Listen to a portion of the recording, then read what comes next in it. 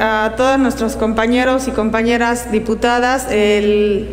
apoyar este acuerdo de obvia y urgente resolución porque efectivamente, como han mencionado mis compañeras diputadas, este es un tema que va a garantizar el abasto de medicamentos a los niños que hoy están pues viviendo esta situación de salud con cáncer y que al final lo que queremos es que se les brinde esa atención que se merecen porque además de ello pues va a permitir que en muchos casos su vida tengan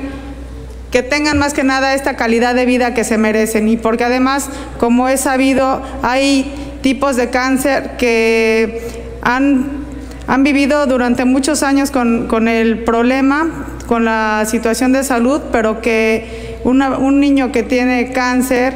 eh, me ha tocado conocer a niños que tuvieron cáncer desde los 6, 7 años y que hoy